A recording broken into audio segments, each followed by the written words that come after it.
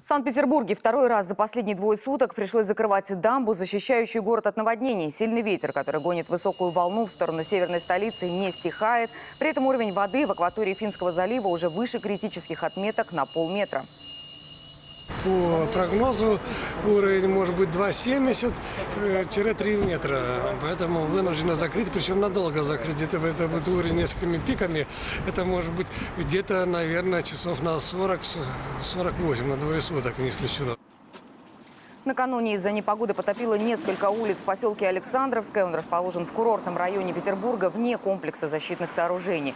В других районах, напомню, сильным ветром были повалены светофоры, рекламные щиты. Порывов не выдержал шатер над рынком в Невском районе. Металлоконструкции рухнули на торговые ряды. Действие штормового предупреждения в городе продлено. Паромное сообщение с Финляндией и Швецией отменено.